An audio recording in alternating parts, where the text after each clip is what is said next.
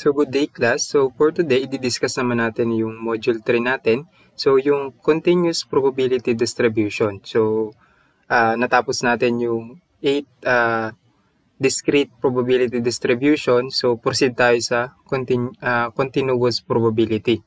So ano ba yung ating learning objective sa ating module 3?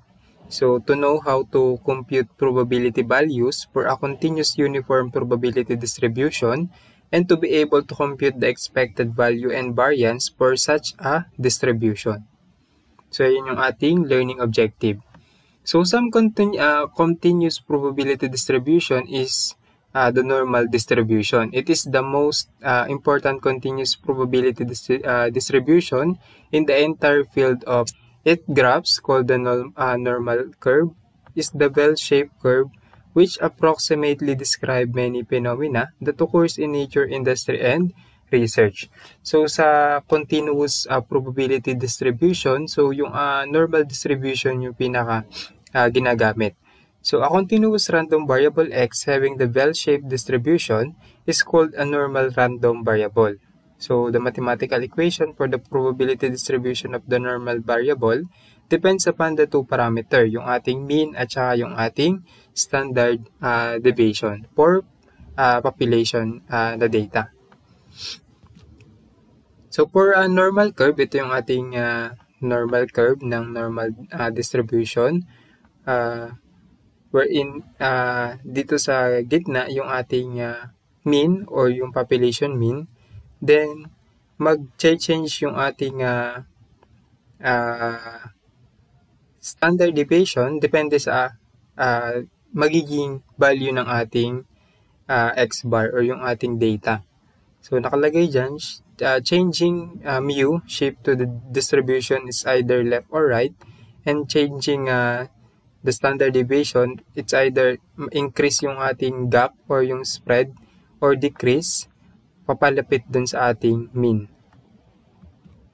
So, meron tayong normal distribution uh, mathematical equation. So, ito yon So, dito na-derive yung uh, formula ng uh, normal distribution. So, f of x is equal to 1 over sigma square root of 2 pi times e raised to negative 1 half times x minus mu over the standard deviation squared.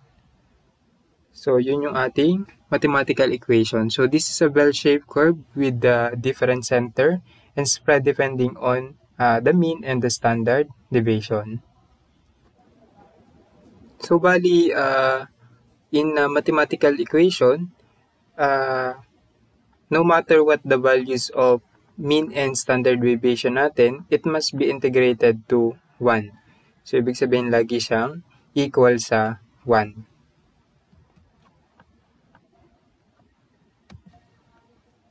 So, ito yung mga uh, mathematical equation for uh, uh, mean, yung ating variance, and also, also yung ating standard deviation. So, ano ba yung beauty ng normal curve? So, no, no matter what uh, the mean and the standard deviation are, the area between uh, uh, mu or mean minus the standard deviation and mu plus standard deviation is about 68%. So, yung area nun ay 68%. Then, yung uh, kapag naman 2 sigma, uh, mean minus 2 sigma and uh, mean or mu plus 2 sigma, 95% yung ating area. And kapag uh, uh, mu minus 3 sigma and uh, mu plus 3 sigma, so 99.7% yung ating area. So meaning, habang lumalaki yung ating uh, standard deviation, mas lumalaki yung uh, spread or yung area ng ating data. So, ito yung ating 68, 95, 99.7 rule. So, yun. Ito yung ating, uh, yung gitnang ito, ito yung ating mean. Then, ito. So, itong red na area, ito ay kapag uh, yung standard deviation natin is 1, which is yung ating area is about 68%.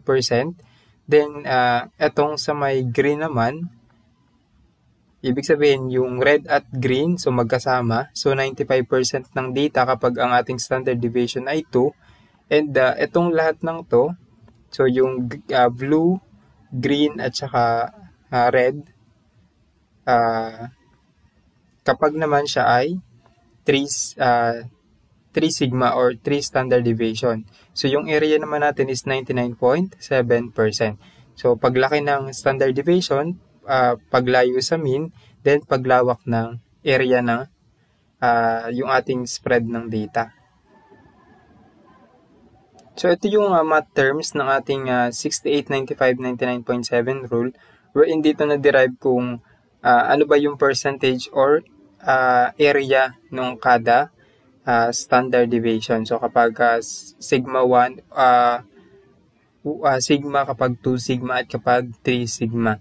So pwede nyong isolve, uh, malalabas dyan na 0.68 or 68%, uh, 0.95 or 95%, and 0.997 or 99.7%. Pero hindi na tayo mag integrate at mag-differentiate uh, ng n equation. So parang uh, ang ginawa lang natin is inalam natin kung saan ba galing yung uh, mga percentage ng kada uh, given standard deviation.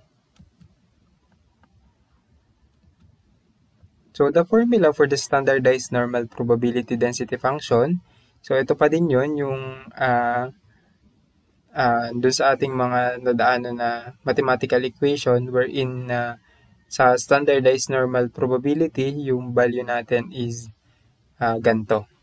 So, yung z, uh, z is equal to uh, x minus mu over the standard deviation. So, or uh, all normal distribution can be converted in this, uh, into the standard norm normal curve by subtracting the mean and dividing by the standard deviation. So, yan yung ating uh, standardized normal probability density function. Then, for standard normal distribution, ito yung gagamitin natin na formula. So, z is equal to x minus mu over the standard deviation. Ito yung gagamitin natin na uh, formula dun sa ating mga problem. Ito yung pinaka-standard na normal distribution. Wherein dun sa ating mga equation, so ito yon Yung itong part na to, ito yung ating mismong normal distribution na formula. So, proceed tayo sa example. For example number 1, given a normal distribution with uh, mu is equal to 50 and the standard deviation is equal to 10, so find the probability that x assume a value between 45 and 62. So ang hinahanap natin dito sa example number 1 natin is the probability na yung x ay between 45 and 62. So ang gagawin natin, i-apply muna natin yung ating formula ng normal, normal distribution para makuha natin yung c-score or yung value ng z.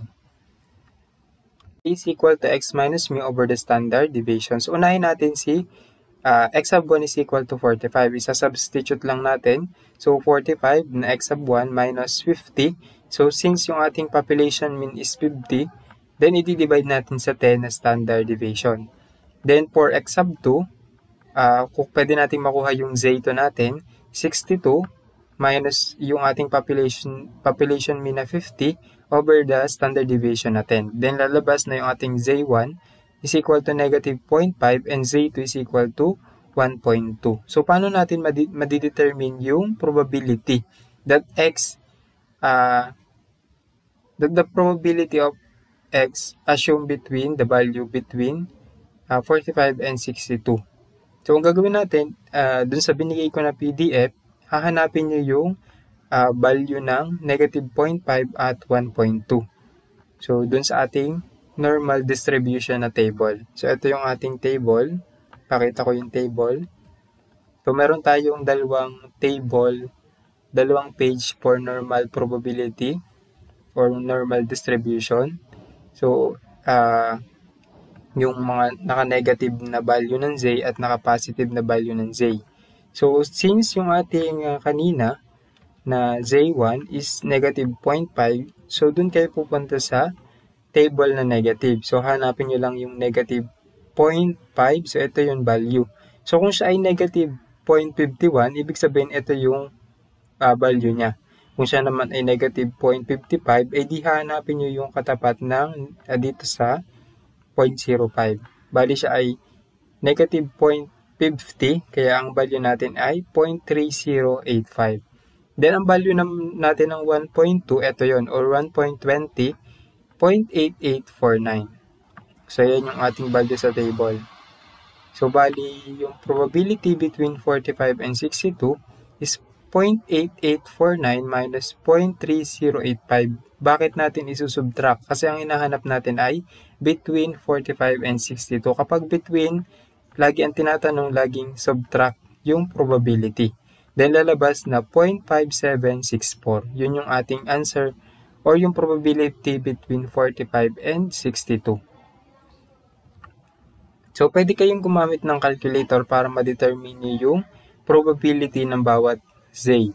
Pwedeng hindi na tayo gumamit ng table, pero pwede nyo ding i-check dun sa ating table. So, paano yung sa calculator? So, dun sa calculator, so, punta lang ulit kayo sa mode then uh, stat, then AC. So, dapat dun sa calculator nyo ay merong stat sa taas, dun sa pinaka-screen, then shift 1. Then, hanapin nyo yung number 5, yung distribution. Number 5. Then, yung 1 na P, uh, pindutin nyo yung 1. Then, lalabas dyan na P. I-enter nyo lang yung value. Since negative 0.5, ilagay nyo na negative 0.5.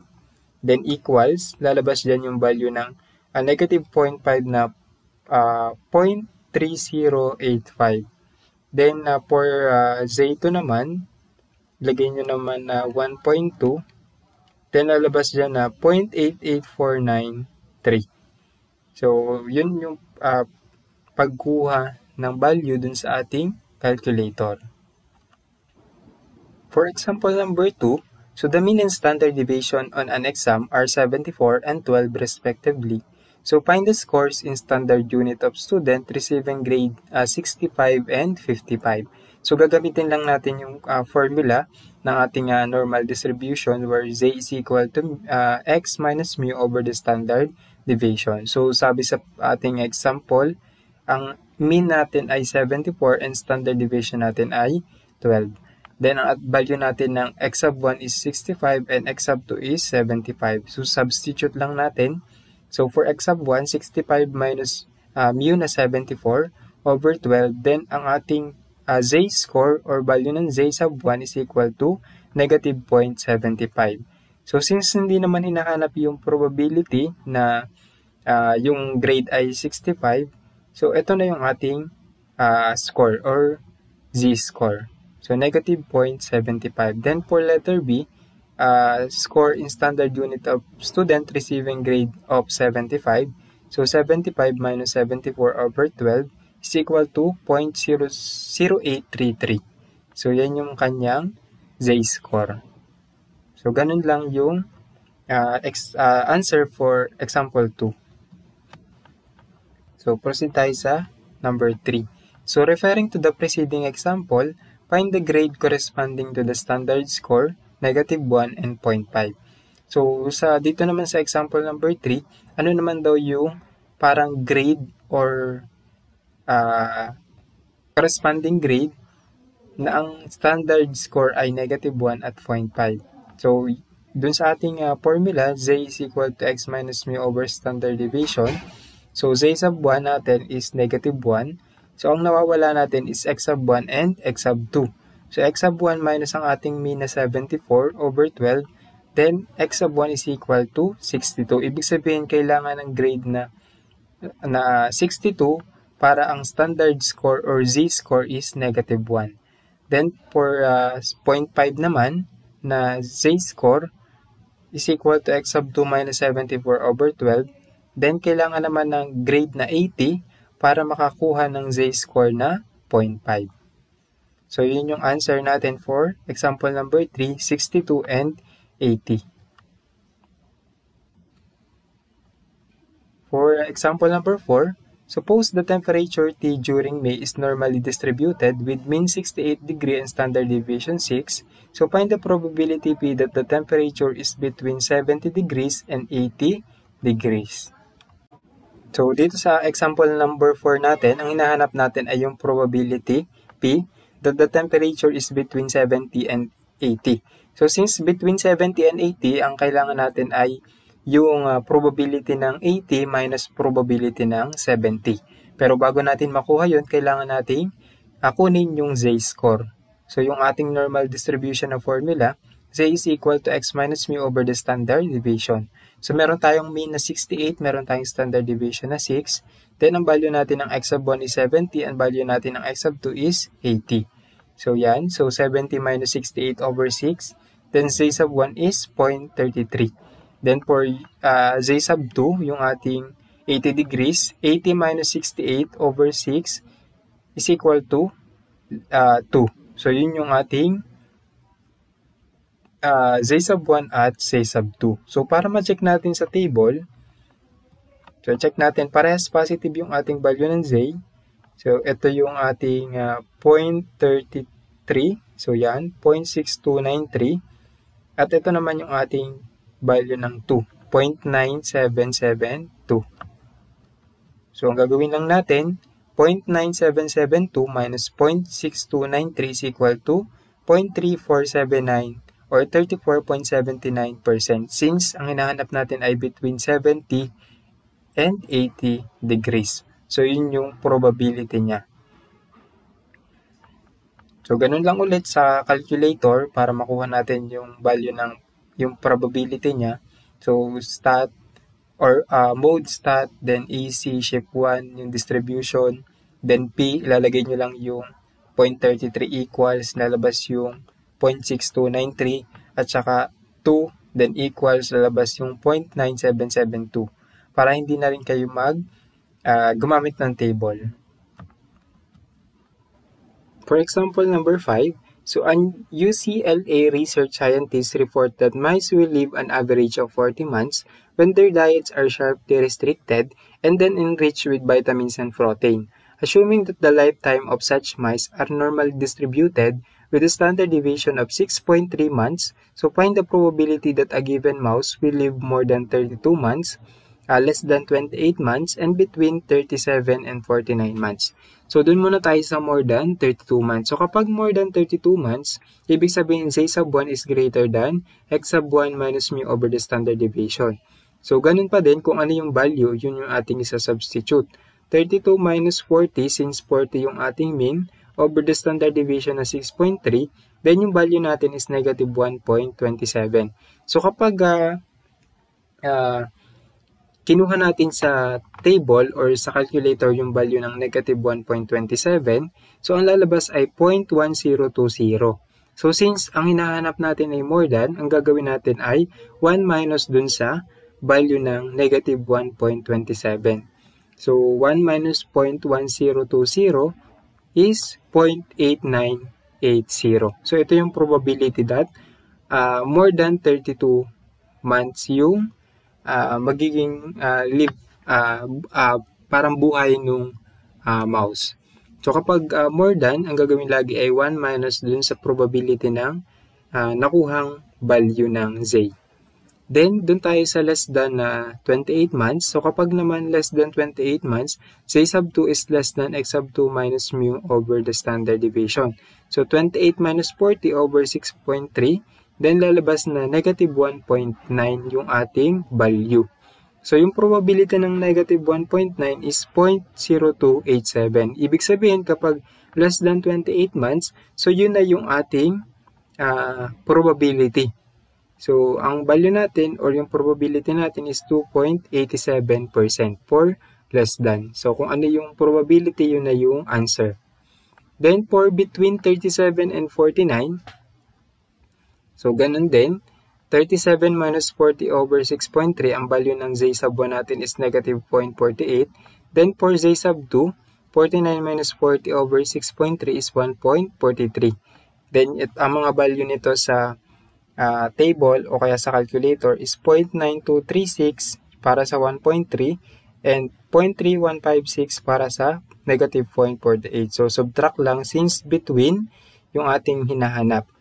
Ibig sabihin yung uh, probability natin ay 0.608 or 60.8%.